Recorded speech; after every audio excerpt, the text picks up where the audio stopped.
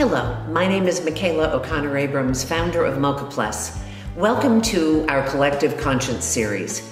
We created this series for you to bring together great minds from around the world on myriad topics that we hope will expand your mind, will challenge your current beliefs, and give you an opportunity to be inspired with every video. Enjoy. I'm Shelly Tatum Kieran, partner at MOCA Plus, and welcome to our fifth Zoom salon, our sixth uh, collective conscious salon, but our fifth on Zoom. And we have discovered that this format is perfect because it allows us to invite all kinds of people with, with a little bit more flexibility and have lots and lots of people come and come back and be able to, to, to enjoy each one of the salons for different reasons, but to learn something new every time. So we're thrilled that, um, that we have you all together again, some returning and some new. And I will turn it over to my partner, Michaela. Thank you so much, Shelley. Well, first and foremost, I should let everybody know that I am broadcasting live from this beautiful French cottage in Pacific Grove. And yes, social distanced, yes, isolating in place. This is a place that I have been during this whole time uh, called the, the second home. And uh, it is the home of my friend tony marie murphy. And when we are open again um, it's a great place to come and stay. And she puts it on vrbo so it's really a privilege to be here tonight. And it is an exceptional privilege to be here with our guest tonight holly payne I have known Holly now just a little over a year, and one of our um, collective conscience uh, community, Shonda Ballas, was kind enough to introduce us uh, more through a business purpose for Holly's most recent startup called Booksby. But it has given me the opportunity to get to know Holly at a completely different level. And what's so wonderful about these salons and what we plan for them to be is to take this one hour of your time on Monday night to share an, an incredible diversity of people, both from uh, opinions and industries and geographies and genders and states of mind. Well, tonight, Holly is going to be exploring with me her journey on grit to grace. Now, if you looked at the invitation, you saw the beautiful oyster and the pearl, and of course, emblematic of exactly what we're going to speak of. Um, Holly is, for those of you who might not have Googled her to say, well, I wonder if I'm going and who is Holly Payne anyway? You would have seen that she is an international novelist. She has completed four novels. Um, I would send you also to an article on Forbes that we will send you a link to if you'd like, um, written by uh, John Greathouse in July of 2019 that gives you a lot more about Holly and Booksby. But tonight, we're going to take this international novelist and uh, explore something far deeper, far more vulnerable if you're Holly, far more uh, able to really show whether we're in COVID or not a path that was anything but easy. And yet, she would say that these were the building blocks to grace. So, Holly, welcome. And thank you so very much for being here and being willing to go from being this fabulous fiction novelist to a nonfiction status here tonight to talk to us about what it has taken to get you to this place and what does that lens looking inside you really look like Wow. First of all, thank you so much. I um, it's such an honor to meet with everyone tonight, and I am so grateful personally to have these Monday night gatherings. Um, it's really brought a lot of hope and uh, no pun intended, because that's what we're actually going to be talking a lot about tonight. Um, it's just a real honor, and I'm so grateful for the questions that have come up and the the participation that everyone has shown. And when Michaela and I talked last week about what we were really going to talk about tonight, I I thought, wow, um, we're all dealing with some pretty challenging things right now. And I wanted to make sure that this hour was going to be valuable to you. And there's so much that we can talk about. And I thought, this is the first time in my life I'm really kind of forging ahead and speaking more from the journalist in me and not having to be a, a CEO or a founder at the moment and talk about technology. But I wanted to talk about probably more what's more important to us is really if we want to go there, call it the technology of the heart, um, which I've actually spoken about prior uh, to this a couple years ago at Google. But when Michaela and I talked, I said, "What what can we really talk about right now? Um, that's going to be that's going to give some people um, maybe a direction or a comfort or just companionship in terms of thoughts that we're all sharing or feelings that we're all experiencing." And one of the things that I wanted to share with her is it was kind of, she wasn't aware that I was working on this other project, but in my life, I have definitely survived a lot of trauma. Um, I was hit by a drunk driver when I was 22, and that moment really catapulted me on the path of just choosing differently um, and choosing choosing my health over everything else because I knew that my health was all I had.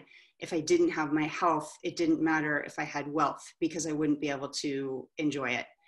Um, and so, from that very young age, at a very vulnerable time in my life, when I was 22 and told, uh, We're not sure if you're going to walk again, I took a vow back then that I would never, ever take my, my mobility or my health for granted and literally i michaela called me just about an hour and a half ago and i said michaela i'm glad you got me because i'm on my bike right now and i'm taking a bike ride and then i promised to shower before this thing.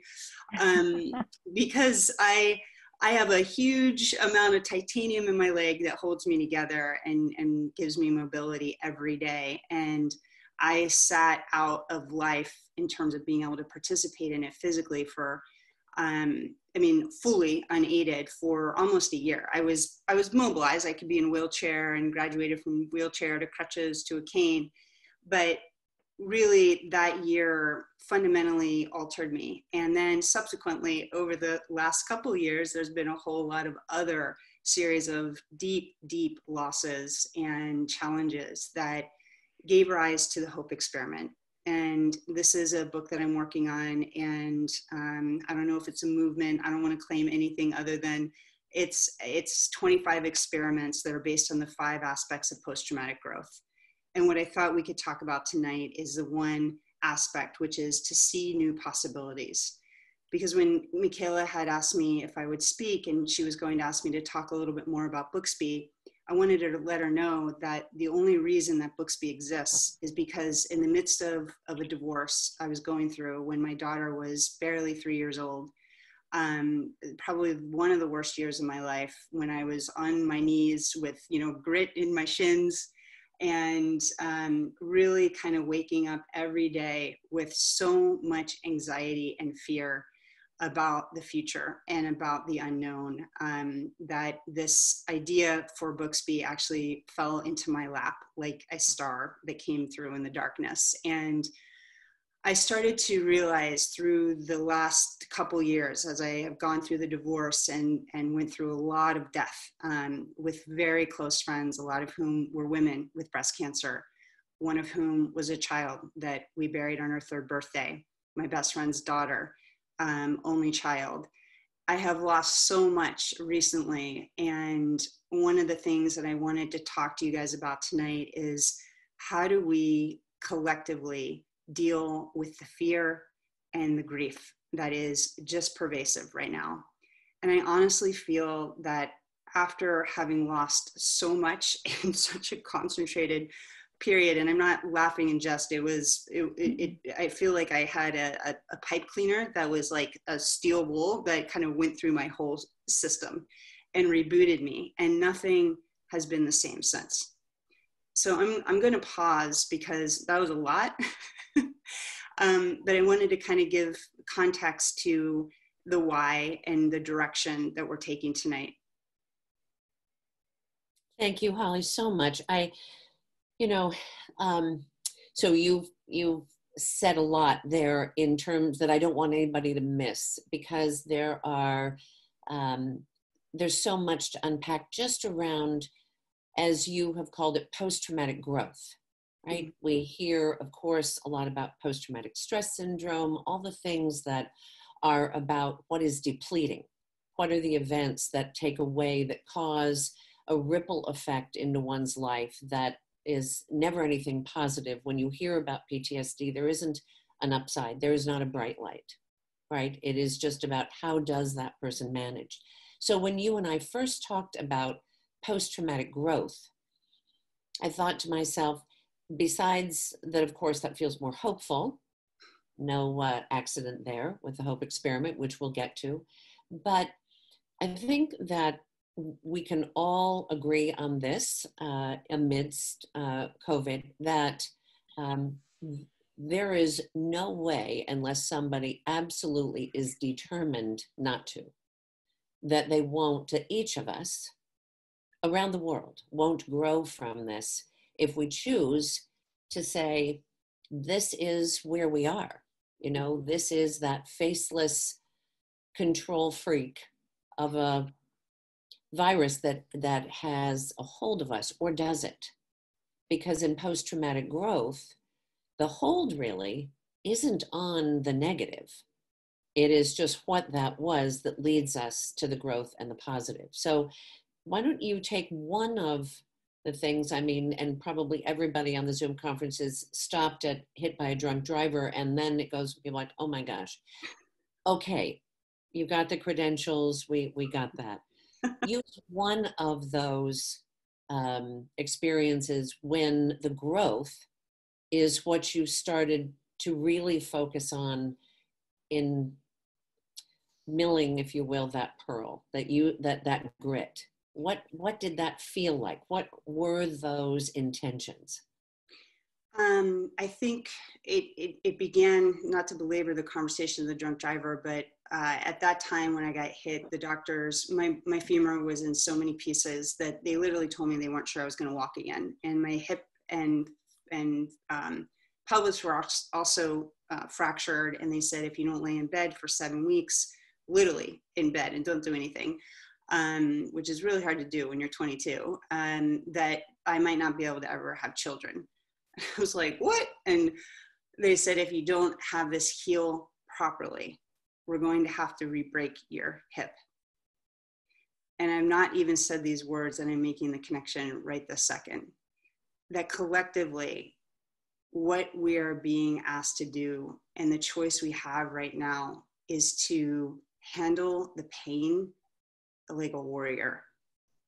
And if we don't, and if we don't really use it to seed the growth, we are going to be broken again. I can tell you that because I was. Um, I actually broke my femur again that same summer. and the doctor said he's, he was scared of me. And I said, I'm scared of myself.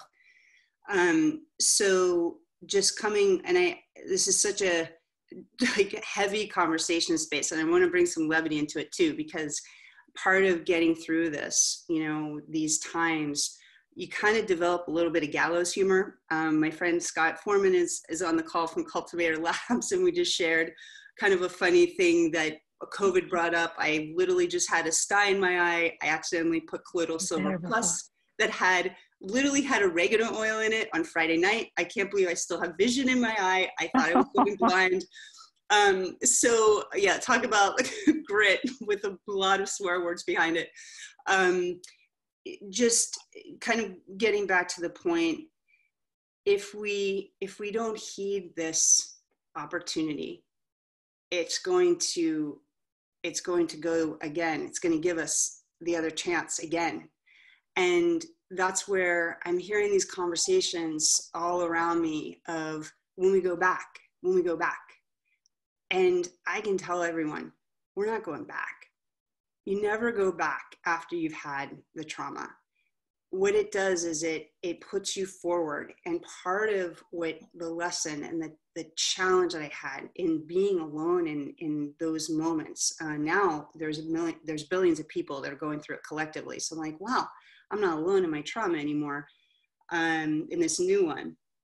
But what I learned is, and this, Michaela, is something that you had mentioned earlier today that we might talk about next, and that was I, had to surrender. And I had to let go of trying to control the situation. And that was really the beginning of what I understood uh, true like faith was is literally letting go and saying i cannot i can't handle this anymore and i don't know what's out there but something mightier than myself better deal with it because i'm delegating this to the universe i am it's not on my list anymore because i cannot do it by myself and i think that's what I learned going through my divorce. And I literally was on my bed one day, like prone, like, you know, a, drama queen with my hands in the air and flinging myself into the sunshine. It was a southern facing window and just literally saying, like, I can't handle anymore. This, you know, and we've all probably had this. I mean, hopefully, we've all had a chance to cry and scream and howl as we do every night here. Um, but what i learned is is to as scary as it is to literally let go and the tom petty song comes to me i was thinking about it on my my bike ride today that song free falling he's i'm free and i'm free falling. And I, I feel that that is where we're caught right now collectively around the world. We are free and we're free falling. And what we're free of is we're free of a whole lot of old patterns and ways that we're not aligned and we're not really bringing us into our highest potential as collectively, as, as humans, as spirits and bodies, however you want to believe. But that is so bizarre that I would think tonight about the doctor telling me that if you don't listen to me and you screw this up, we're going to have to break you again. And life gave me lots of opportunities to break my heart open again and again and again and i'll i'll get there later but i'm going to pause because we have a lot to discuss i think. Yep. Okay so let's um, fast forward through um, several other painful hurdles that you have talked about not the least of which is the death of your best friend's three-year-old which I think has even perhaps been more poignant than being hit by the drunk driver in terms of that indelible mark that it left on you. And I can only imagine. Um, to the point where you are racing through traffic to get to the yoga class in San Francisco at a pretty amazing place. Because that is the place at which I think, fair to say, that you then even had a pivot in your mind about what you could concentrate on, even though you'd been already talking about surrender, you'd already understood about the intention of the grit that it took to move into more positive, meaningful, like what was that purpose instead of folding your tent, fair to say. But take us to that car ride to this amazing yoga class, please. Okay, so what Michaela is talking about is an article that I've, I've written. I haven't published it yet, but it came out just, I had like one of these weird moments. And for all of you that are on the call that are creative or writers, when you don't write for a little while, um, I end up with what I call like a writing seizure. And it happened two Saturday nights ago where I was like, oh, I gotta just open up my laptop. And this whole article came out. And what it was, it, it's called I don't know, the title is still working in my mind, but um, COVID Courage. And I ended up going to Grace Cathedral. It was my last memory of a normal kind of pre COVID day in San Francisco. And I ended up going to the Grace Cathedral yoga class on a Tuesday night, and I'd never been there. I'm sure many people on the call have been there. Um, I was busy, you know, busy being busy and missing missing the opportunity. And going into 2020, I, I set the intention that I was so ready to grow through great love and great joy. And those were my code words for I'm ready to thrive because I'm a professional survivor. I don't need any more opportunities to survive. Little did I know what was about to happen within like literally a couple weeks. And um, and so I wanted I wanted the permission to thrive. And so I literally was like, hmm, I haven't been exactly that graceful in my prior traumas. I took on everyone else's pain. Not a good thing to do. I thought I needed to suffer um, as everyone else was suffering versus watching and bearing witness from from here from my heart which is compassion versus having empathy and sympathy which actually drains you and makes you sick um, and so when i went to grace cathedral i have to laugh because normally as i would say i would be jamming to some songs and trying to get there really fast you know normally yoga and i was like holly give yourself an extra half an hour to get there because you have to find parking in Nob Hill. And I gave myself permission to slow down. And I also just, I just trusted, you know what? I'm supposed to go there tonight and I'm going to trust that parking is going to happen. And I pull around and you guys all laugh, right? You, you make that circle to kind of turn around and um, you pass the Mark Hopkins and all of a sudden there's this parking spot literally right in front of Grace Cathedral, like free parking. I couldn't believe it and I open up the car door, there's a penny at my feet, you know, everything was a sign. But the idea was I, I wanted to go in and, and literally be in a, bu- a building that embodied grace because that's what I wanted this year to be because I thought I'm ready to, I'm ready to thrive. And thriving to me is grace for myself personally because um, I, I was, I've been in survival mode for so long and I thought, man, 2020, the new decade, I'm ready to go. Um, and what I realized in this this meeting, I had never been to the, the classes, and all the pews had been moved for a film that had been had taken place there that day. So it was really rare to have the yoga in, in no pews, and there were literally hundreds of people. I think there was 500 people that showed up that night and the dean had introduced the theme for the evening's class, which was developing spiritual courage. And I was like, holy cow, wow, did he just say that? And I thought, I wonder how that came up, having no idea. And he had no idea that he was planting the seed for everyone to kind of pivot in what they thought this year was going to be. Because I'm back at this, the ground zero of, okay, wow, I've been here before. This is really uncomfortable. How do I sit with this discomfort and try to breathe through it and try to surrender and try my best to really trust that we are free falling and there is some net, some net, I don't know what it's going to be, that's going to catch us. But I think it's only going to be woven through our own intentions of where we want to go through all this, you know? And I, I get tears in my eyes when I think about little Avery. But the whole idea behind post traumatic growth, I had never stumbled upon it until I read Sheryl Sandberg's book, um, Option B.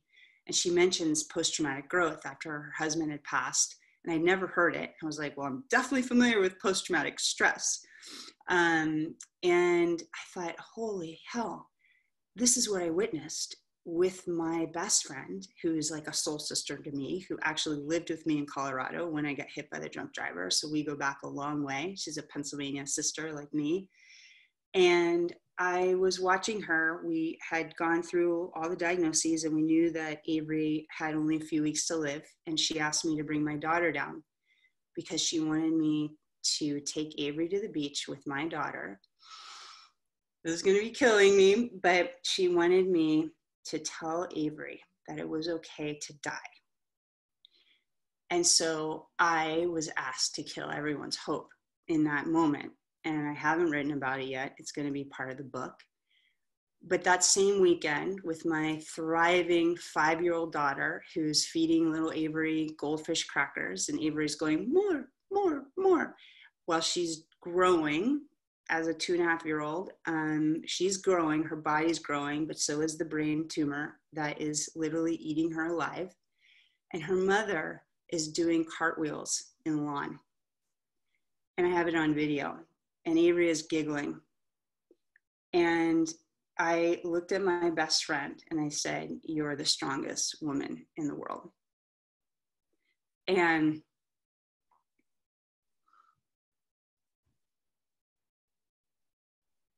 and I think the pain that we're all seeing right now, if you can imagine a woman who's losing her only child, and that's Mother Earth, right? Right now, if you just want to make Avery out to that, you know, we can still do our cartwheels. If we can find the strength to do a cartwheel in the park when our child is dying, we can get through anything. And that is that I realized looking back I realized, wait a second, I I think we're I had the same opportunities, right? I was determined to walk again. I refused to believe that that that I wasn't going to walk again, um, and and I did. And we have to each of us individually, I think, you know, choose what is it that we're determined to become after this, right? And and that's that's the hope right we know there's something there if we really if we really take it in because that is the grit that's what forms the pearl right and i guarantee you everyone if we do lean, lean into it you'll we'll come out of this stronger than we've ever ever been. And um and that's actually exciting to me to know to know and experience that collectively. I don't know what it's going to look like. I don't think any of us know what it's going to look like is the truth. And I think the other part of this is if I can pull spiritual courage back in, which means a, a, very different thing to each person, right? We talked about that. As I said, I'm going to explore this with you because I can think of any number of friends if I say, What does spiritual courage mean to you? And I know I'd have 20 different answers, right? So if we think about that being, what, whatever that is that one surrenders to, says, This is bigger than I am. I mean, I have a friend who would say, Let go, let God. And I have a friend in DC that says, Let go, let dog. And I have, I, I mean, it does, it, it, it really is. I mean, everybody chooses to get their courage and their and spiritual to them it could be a universal force but when we talk about that as hope, right, that that's really what gives us hope is knowing that we aren't in charge, that we can, of course, see how this will turn out over which we don't have control, but you're not suggesting really that we cede all of the creativity, ideas, and um, goodness that can come out of this. And I think we've already seen that in places around the world, the, uh, not just the heroics and, and the gratitude for our first responders and our healthcare workers, et cetera, but other models and ways of translating this. So fair to say that that's really where we come into the hope experiment, right? Mm-hmm. And those essays that will be the book that I'm convinced is way bigger than that. It's, of course, it's its own brand. And what better time? I mean, I would, again, I would argue that in any time, a hope experiment is a good idea that everybody becomes a part of. And the more that people have a host, if you will, for guiding uh, a dialogue, an exercise, an experience, an experiment to utilize the things that are in their lives and in the lives of each person on this collective conscience salon, then the more enriching and interesting I think it is. So let's let's focus on the hope experiment. Holly, what what does that look like, do you think? Because I'm not sure that even you could tell us tonight exactly how it will all come to fruition and how it will grow and play out because you're you are literally um, giving birth to and rise to something that is very, very powerful. And so, but, but what does the beginning look like? What is the start that everybody here on this Zoom call can take advantage of? And let me say, spoiler alert, um, with your permission, as soon as the salon is over, um, I'll send a link to the Forbes article, which because I think it was great, and there's a lot there about Booksby but um, also would like to send that 1300 word excerpt that you sent to me that nobody's seen yet if yes, that's okay. Yes, you can. Can you just give me one second? Will I have a, a writer's never done with rewriting? Um, yep. I actually made a couple revisions today. So before we send it out, I just tweaked it a little bit more because um, I got some feedback and I'm always listening to, no you know, uh, feedback. But yeah, absolutely. We you, will not send to the 33 guests that we uh, have tonight, but all of you on the salon tonight, you will get to be the first to see this before it actually goes um, uh, to being published, whether on Medium or a few other um, options Holly has. So I think it'll be great. It, it's beautifully, beautifully done. So let's let's go to the Hope Experiment. Let form that for us at this particular stage. So I, I uh, the whole idea this came to to being is uh, my daughter when I was moving. Talk about another like WTF moment. Um, our landlord had raised the rent um, twice in one year. There was no, you know, rent control in Marin County. And at that point, I was I, I was running my startup, and there was no way I could continue with the stress of where we were in terms of our funding and just where we were in general, and keep paying this exorbitant rent. So I sold half my stuff. I um, put the rest in in storage, and then a very painful moment, but weirdly liberating. I gave like 400 books to the Mill Valley Library. Um, I had to part with some of my best friends, but um, you know, it was all this experiment for me and just kind of paring down and, and getting back to like essentialism.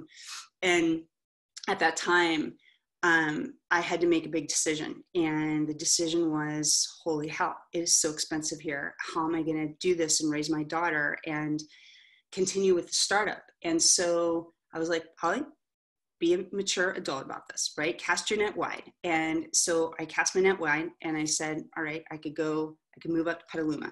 And then I kind of started, I was like, that's the farthest right now that I'll consider so that I can still make the commute and allow her to come back to go to school here. And um, I ended up talking to a friend. And this is all about kind of the hope experiment because this was drawing on um, my ability to kind of see new possibilities and also about um, i started writing again um, in my journal. And you talked about like god or dog or you guys fill in the blank whatever works for you uh, you know uh, it, it doesn't matter. I don't have any language around it. I do write in my journal and i literally write letters to god. And i'm like here's the deal god. I need help here's the, the form of the help and here's how i'd like to help right? Here's how I help myself, but here's how I need you to show up. And I know it won't be, I don't know if it's going to be a stranger, but I have been doing this now for the last five years consistently. And I stopped my, my journal writing practice in the midst of my, my, my marriage.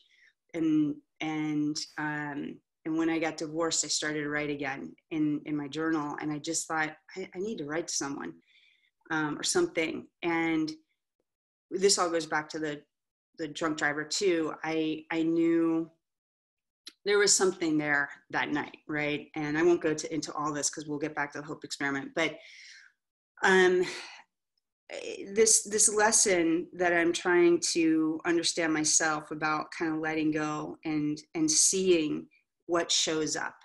So there's there's something that I encourage all of you to do right now in the smallest way, and that is whatever is the biggest holy shit moment that you're experiencing right now of like holy shit if this then that right in terms of loss right? We've all been doing it right? It's like holy shit right? We have these secret moments. I am going to challenge you all give you the opportunity to kind of this is the experiment is to just kind of divest yourself of the worst case scenario because if the worst case scenario happens are you still alive are you still breathing? Mm-hmm. Do you have clean running water? Do you have a roof over your head? Do you have one person in the world that you can call that loves you? Right? If you can answer yes, and do you have some food in your fridge? You probably have pickles. I mean, maybe, right? Or or some butter. There's something there, right? You're going to survive, right? So if you take all of your holy shit moments and literally start unpacking them, you're going to get back to but I have clean water. I have a friend. I experience love in this world. I can look out and I experience the sunset, and that's beautiful. So I still have beauty. I still have love. I still have clean water. I have a roof over my head. I'm still okay. And this is the exercise I have been doing almost all the time for like the last five years. And here's what happened. When I cast this net out and I wrote in my journal, Dear God, I have a serious problem. They raised the rent again. Those you know what's and fill in the blank with my hand like this in the air. Um, my friend, I went and talked to a friend and I said, What would you do? Because I trusted his judgment. And he said, Holly, we have a guest cottage, you know, up on the mountain. Why don't you and Graceland just go up there? And he said, You can think about it. I'm like, no, I didn't get time to think about it because I had tears streaming down my cheeks. And I was like, Oh my God, are you serious? And he's like, Yeah.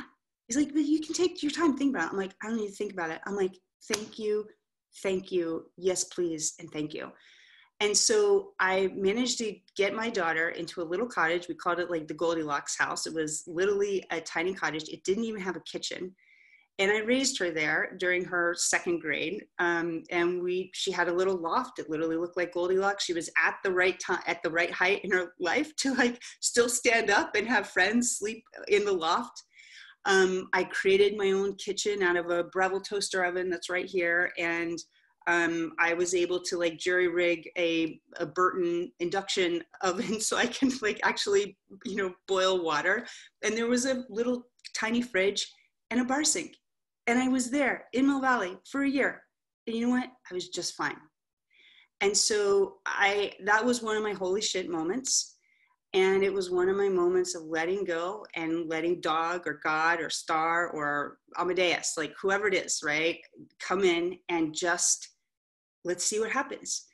So when we get to that place, wherever you guys are at in your fears right now, whether they're silent or spoken, or whether you write in your journal or not, play with this, be playful, because the fun thing about this, when you start these experiments, when you start to let go, you things will start happening you will start experiencing magic which some people call miracles but i am telling you like I never expected that in a million years. But because I was in such an authentic place of surrender, I literally just let go. There was nothing else I could do. And I was willing to walk away from this place. And I remember having my own heartbreak because I love Mount Tam. I am there all the time. I'm hiking. I ra- have raised my daughter basically uh, in those woods. And um, and there's just a real connection I have to this place physically and and the headlands. And I was like, if I can't access them on a weekly basis, as I do, as I've done for the last 15 years, like there is going to be a part of me that's going to die. And I was like, did you get that, God? There's going to be a part of me that dies. Like the best part of me is going to die if I can't live near this mountain, right? So I just want you to know that. And you know, you can be playful and it doesn't always have to be serious but it is amazing when you get quiet and you get still and you start paying attention you're like wow oh my gosh i just got this email and someone's offering this. I don't even know this person. Was that in direct response to what i just wrote? And i can tell you the answer is absolutely it is. And um, you know there are invisible strings everywhere that are connecting us right now and it's amazing. And when you start to kind of feel into that existence that to me is the hope. That's the net that's going to catch us you know as we go through this free fall but i didn't even i don't even have an experiment called the holy shit experiment but i think i'm going to make one up now okay so now there's the Holy Shit podcast uh, experiment and and the Hope experiment. Um, I guess that, that's you know that's definitely part of it. Is is uh, experiment whatever the Holy Shit you know. Right, or maybe we can call it from Holy Shit to Hope and back. yeah, from Holy Shit to okay. Um, listen, I want to make sure, Shelly, if you would let me know if um, anyone would like to ask Holly a question about this time because we have 15 minutes, which is usually what we leave for our community to ask our guest speaker any questions, anything that um, she hasn't revealed that you want to ask her or something even deeper. Do we have any questions? We do not have any questions. Because everybody not is yet. Trying to figure out how to get out of their, out of their own holy shit moment, I guess. We're all still processing what's happened over the past 45 minutes. okay, well, it's a lot. And, and Holly, I Um, and Shelly, when somebody raises their hand, please stop me. I don't want anybody to have to wait who has a question. But, you know, Holly, we, um, I've had the good fortune to really know each other more over Booksby. Thank you, Shonda Ballas.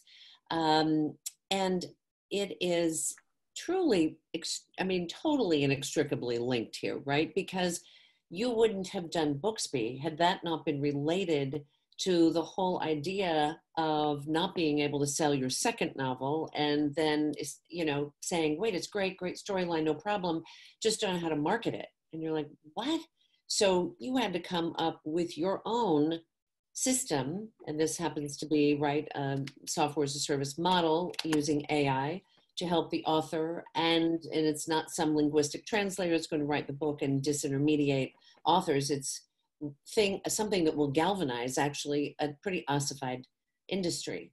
So you want to just do a little thing on booksby i know you're very self-effacing when it comes to talking about this founding but it's it's a really important piece to me of that part that you gave birth to yeah, so um, so that would be that would fall under the category of which is category five. There's no order for for these categories in terms of the post traumatic growth index, but that would fall under seeing new possibilities. And again, it is inextricably inextricably linked. Um, it was another holy shit moment where in the midst of my divorce, I'm realizing oh my God, there's going to be no spousal support. There's going to be pretty much no child support other than like a 50 50 in every way. And um, that was the moment that I literally was like, oh my God, what am I going to do? Because I also received the news that my, you know, that the publishing world was not going to accept my latest novel which I had spent two years rewriting. It, I had literally cut almost 45% of it. The book was upwards of 700 pages, and it's my my last book. It's historical fiction called Damascena. It's about Rumi, and I had done tons of research. It just killed me, still kills me. And um, in the midst of that, I just thought to myself, "What am I supposed to do?" Like aren't you supposed to follow your heart? Aren't you supposed to like, you know, engage your passions? Isn't that what I was told my whole life? And it wasn't adding up. And my first two books had been published traditionally. I'd started my own press, and after my daughter was born, and in the midst of the divorce, I'm like, "There's no way. I got a two and a half year old. I can't. I can't do all this myself." So mm-hmm. I went, quote unquote, back to New York. Right?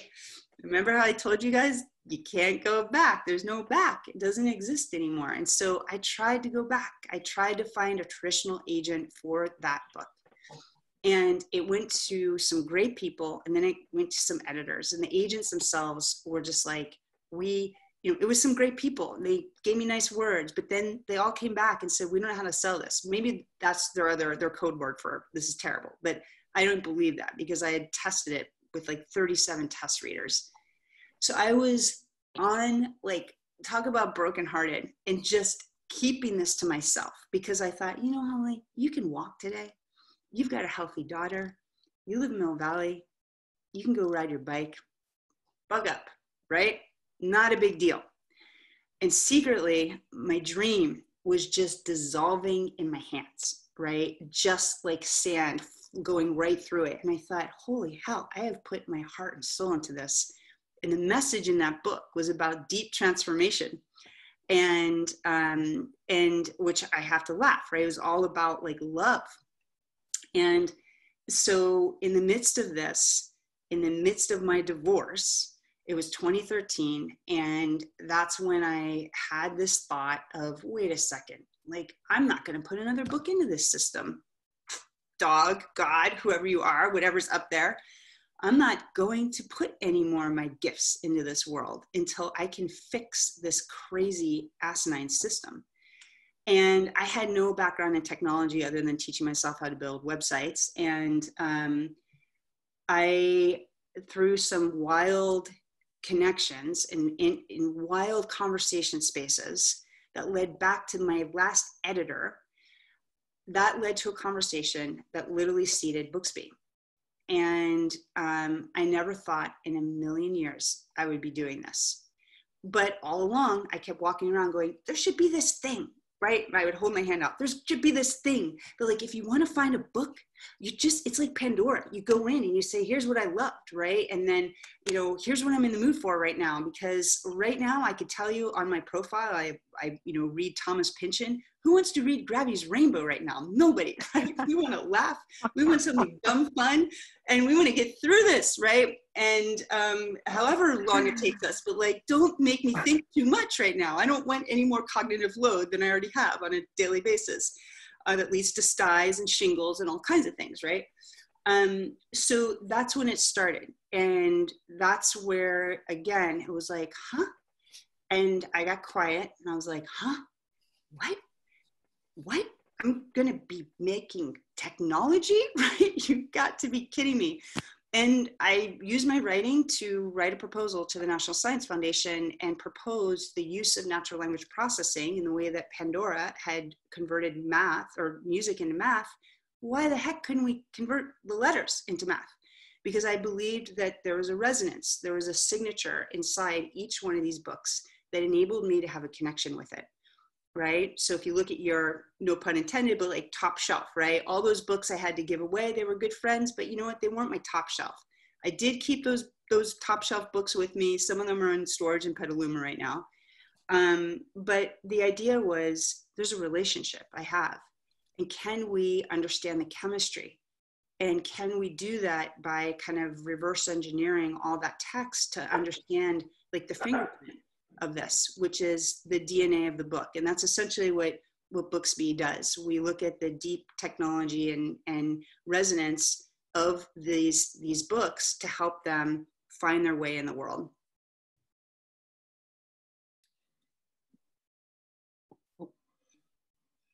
Great story. Did you just freeze, Holly? Oh, you. Oh no, I didn't freeze. okay, all of a sudden your picture just stopped. Okay, so Shelly, any questions? No, but I did you. Uh, no, but I did want to let you know that you had some props from a fellow author about Damascena. It, it's from Nancy Davis Kho, who's with us today, and it says, "If you've never read Holly's work, I highly recommend Damascena as a starting point. Amazing book." Oh, Thank you, Nancy. Wonderful. Well, uh, that would, yeah, that it's it's really Holly. It's been so wonderful to to have you with us today. And I, I hope, as what we have um, encouraged and found, that um, our salon community then stays in touch with speakers. And what I love in kind of very TED like fashion is that our speakers are also our community. So many people on this evening are also future speakers, which, as I said at the very beginning, speaks to the thoughtfulness and the diversity so that we take this opportunity, which for me is part of my own hope experiment and ours with Shelley at MOCA Plus, and really learns, takes this time that we don't usually have to learn from to uh, to digest if you will and and really look at the ways in which we can be a part of things that previously either just were not touching us or um, on our radar or we were too busy to notice that were right in front of us. So I hope people um, not only read Damascena, but understand more about Booksby, and we're looking forward to the Hope Experiment. So I thank you so, so much for being with us. Thank you. There's uh, there's a woman, on Anthea. Yeah, yeah Anthea. Anthea. Yes, she, she's asked a question. It says, "Great story. So what's next?" Yeah, I'm just saying, what's your what what's next for you, Holly? I'm I love your story. Love your story. Oh my God. Hopefully, true love, a dog, uh, a yard, um, and um, you know, just really everything. We're we just launched in February with Booksby, so we're you know I feel like even though I've been carrying this for many years, we're kind of at the beginning. Um, and then the hope experiment is kind of you know it's just something that started quietly and now that i see all these opportunities in terms of how people can just hopefully be add some levity or or opportunities for them. It's not about optimism but it's about giving yourself an opportunity to cultivate something that will help you get through it. And i know michaela you did ask something and i think i got sidetracked but i will end with this, Anthea. Thank you for asking. I think the Hope Experiment is what's next, um, actually. But um, this very first aspect of post traumatic growth is finding strength. And I think if, if everyone here has that opportunity to just focus on how do you build your strength, because right now, if you can find strength in yourself, right, then you're going to have what is the antidote to all this, which is resilience. And I think that's what all of these horrible traumas that I've gone through, including the heartbreak of my last book, it gave me resilience, you know, and I'm I'm kind of like, all right, universe, freaking pandemic, like bring it. Like I I got this. And um and I'm not saying that I'm laughing every day, right? I am crying with you. I am crying with my daughter. I'm crying for the world, but I also know like I've been here. I I know this hill and I know how to breathe and I know how to pace myself. And and if I can offer comfort or humor through all this dark and allow me to throw down some f bombs and you know holy shit moments um, I, I think there's going to be a way and and that's why i didn't want to hide anymore behind this thing that was happening on the side while i was still bringing booksby into the world is because i'm a writer and stories heal and i i don't want to i don't want to i don't want to stay silent anymore with this i want to give it away you know there's something I have to say, and Anthea, thank you for asking that because it just hit me that the three authors that we've uh, had the good fortune to be our guest speaker Nancy Davis Kho, the Thank You Project, and Faye with Magic in the Mundane, and now the Hope Experiment. Think about how inextricably linked those are yeah. in terms of the emerging opportunities that we have if we pay attention, if we listen, and we're willing to do the work that isn't really hard if we're trying to, if we're present. Yeah. So that might be a really, I want to moderate that panel, okay? sounds, sounds and, fun. and we have others um, coming up that I won't uh, talk about that are also authors and be very exciting to add to that. So thank you. And for everybody in the community, thank you so much once again for joining.